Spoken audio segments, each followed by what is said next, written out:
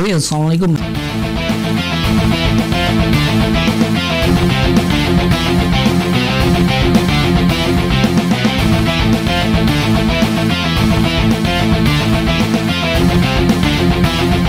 Hari ini kita bisa bertemu lagi dan di tutorial kali ini kita akan bahas bagaimana cara mengolah data kuesioner ya atau semacam angket. Nah, jadi kalau kalian sedang mencari pengolahan atau bagaimana cara mengolah data kuesioner, bagaimana cara membuat tabelnya sekaligus bikin ya grafik gitu. Uh, rumus apa saja yang digunakan untuk mengolah data kuesioner atau angket ini? Kita langsung aja ke video tutorialnya. Oke, jadi saya memiliki uh, tabel sampel ya. Sampel ini adalah sampel kuesioner atau angket ya, teman-teman. Kalau uh, teman-teman uh, misalnya punya angket yang ingin dianalisa ya, ingin dihitung ya seperti ini caranya ya.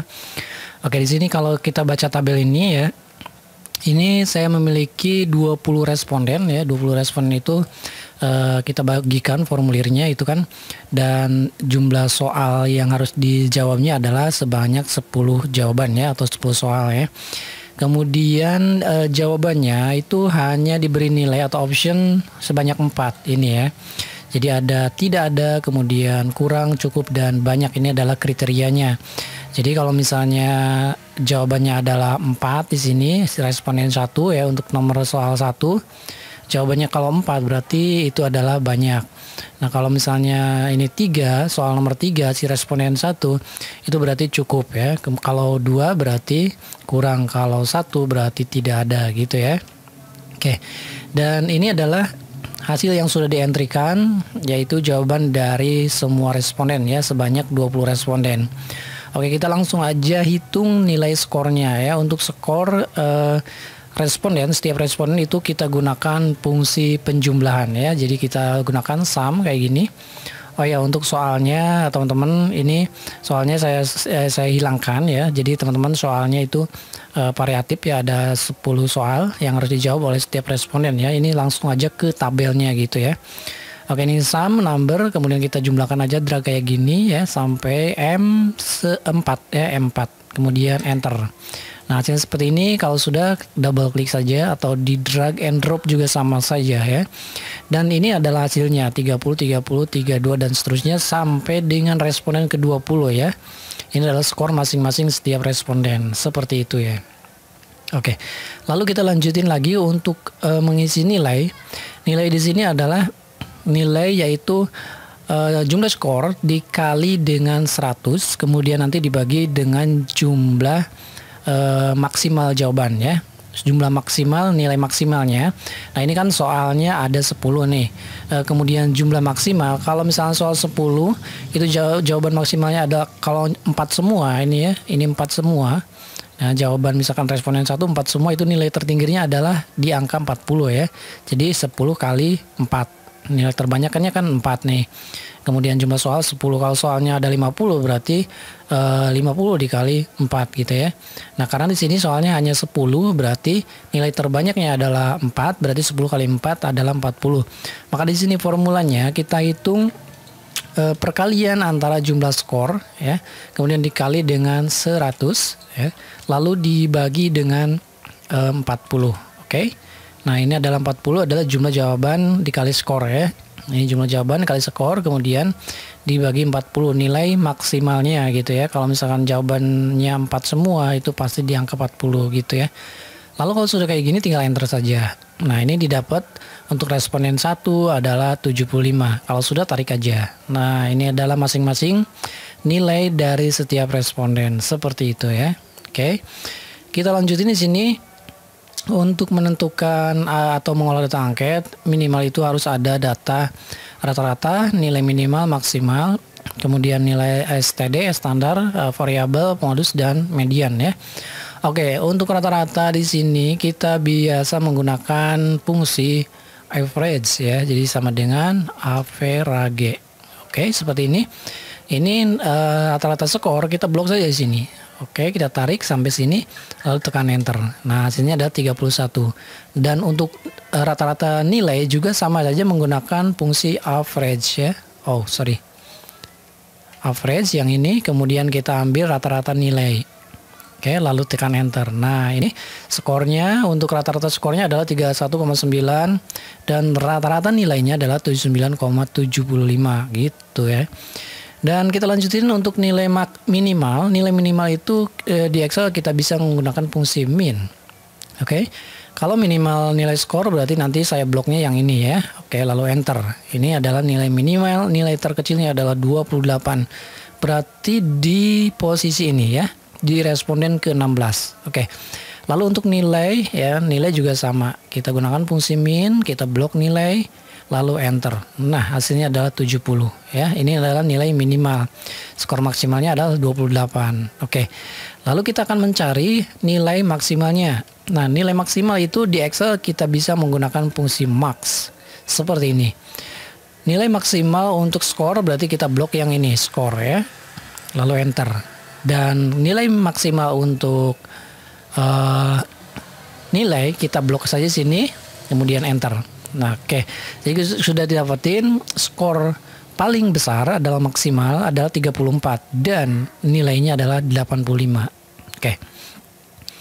kita lanjutin ke pengisian STD ya. STD uh, eh, untuk STD ini uh, kita gunakan fungsi std dev ya. Jadi sama dengan std uh, dev ya std std oh sorry std dev. Nah ini ada dua nih ada std dev p ada std dev s ya. Oke, karena di sini kita akan menentukan sampel uh, di sini maka gunakan std dev s ya seperti ini. Oke lalu kalau sudah kayak gini kita ambil nilai dari skornya. Kita blok ke sini lalu kalau sudah kayak gini tinggal enter saja nah nilainya adalah untuk STD-nya STD skornya adalah 1,83 sekian sekian ya. Kalau teman-teman ingin membulatkan, tinggal klik home, kemudian diklik saja ininya. Oh sorry, yang satunya ya. Ini ya ada ada apa namanya? Ada increase, ada decrease. Oke seperti ini. Oke kita lanjutin untuk STD depth nilai. Maka di sini tulis aja STD uh, eh, sampel ya. Kemudian kita ambil yang nilai. Kita enter. Oke, kita buang lagi, kita kurangin nolnya. Oh sorry komanya maksudnya seperti ini. Dan ini sudah didapetin untuk STD depth nilai adalah 4,58. Oke. Lanjutin lagi kita akan mencari uh, variabel untuk skor ya. Variabel untuk skor ini kita gunakan fungsi uh, variabel sampel ya, var s ya. Oke. Kita ambil skornya Uh, kita blok saja kemudian enter. Ya seperti ini. Dan untuk nilai kita gunakan variabel s nilai ya. Kita blok lagi kemudian enter. Seperti ini. Nah kalau misalnya ingin dihilangkan ya sama aja caranya seperti tadi. Kayak gini. Nah seperti ini Oke, kita sudah dapetin eh, rata-rata uh, nilai minimal, nilai maksimal, STD dan variabel. Sekarang kita ambil data uh, skor modusnya ya. Oke, untuk modus kita gunakan fungsi mod. Ya, mode gitu kan ya. Nah, kalau untuk nilai kita blok aja nilai ya. Uh, sorry, untuk skor blok skor ya. Nanti untuk nilai sama di sini 34 untuk modusnya. Uh, di sini kita ambil lagi untuk nilainya ya. Mode nilainya kita blok, kita enter. 34 untuk skor modusnya dan 85 adalah modus nilainya. Oke, sekarang kita lanjutin nilai tengah ya, rata-rata atau median. Median itu di sini kita gunakan fungsi median ya. Oke, jadi sudah ada formulanya ya. Kita blok saja sini, kita enter. Nah, kita gunakan lagi median. Kita ambil yang nilai, kita enter. Oke. Jadi nilai median uh, untuk skor uh, sorry skor mediannya adalah 32. Nah beda dengan rata-rata ya. Kalau rata-rata itu belum ada pembulatan, sementara kalau median itu sudah dibulatkan ya dengan uh, uh, koma di belakang komanya ya. Kalau 31,9 ini naik kan jadi 32. Ini sama dengan formula ini hasilnya gitu ya, tapi rumusnya berbeda gitu. Begitu juga untuk nilai. 79,75 ini kita bulatkan menjadi 80 ini dengan fungsi median seperti itu ya. Oke. Nah kalau sudah didapetin tabel uh, angketnya atau hasil angket atau kuesionernya, kita bisa menambahkan grafik ya biar ada keren sedikit gitu kan ya. Oke, untuk grafik ini apakah kita ambil grafik untuk nilai ataupun untuk skor ya? Kita ambil coba grafik nilai saja, kita blok, kemudian kita insert, kemudian di sini pilih chart. Nah, untuk chartnya teman-teman silakan disesuaikan keinginan ya. Kalau saya untuk kayak gini biasanya menggunakan chart line. Nah, seperti ini. Oke. Kita ambil yang lain akan ada banyak nih, lain uh, dua dimensi, ada uh, lain tiga dimensi ya. Saya, saya biasa pilih yang ini nih. Line with mark ya oke okay, seperti ini. Nah kalau sudah kita geser aja dulu supaya lebih rapi ya. Seperti ini kita oh sorry sorry. Nah ini kita drag and drop saja ya. Jadi sangat mudah sekali ini tinggal uh, tarik ya misalnya mau pindahkan kayak gini kalau misalkan ingin dilebarkan ditinggikan ya tinggal kayak gini saja gitu ya nah seperti ini kira-kira nah biar rapi ya jadi matching antara tabel dan grafiknya Oke, kalau misalnya teman-teman sudah membuat grafiknya, kita modifikasi grafik nih. Untuk modifikasi, modifikasi grafik, ah, nih tinggal klik saja grafiknya. Nanti kan muncul nih menunya nih. Awalnya kan tidak ada. Klik saja grafik, kemudian nanti muncul sini. Nah, di sini kita bisa manfaatin desain dan format ya. Karena kita akan memodif ini, kita pilih desain saja. Kemudian di sini ada banyak pilihan. Ada banyak pilihan. Nah, teman-teman di sini ada chart stylenya. Nah, cat stylenya tinggal dipilih saja yang sukanya yang mana. Oke, saya akan coba pilih yang ini ya. Oke, pilih yang ini. Kemudian untuk warna ini juga bisa dirubah-rubah ya. Warna ini kita klik saja ini, kemudian format, kemudian di sini ada save fill. Kita ambil yang hitam biar kelihatan ininya uh, barnya gitu kan ya. Oke. Nah, biar agak keren-keren sedikit ini ada cahaya gitu kan ya. Kita bisa modifikasi ini uh, lainnya, lain-lain yang ini ya. Kita pilih format, kemudian oke, okay, sorry, kita pilih format di sini pilih Oh, sorry, desain ya, bukan format, kita pilih desain.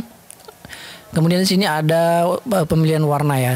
Change warna. Oh, sorry, sorry. Nah, ada change color ya.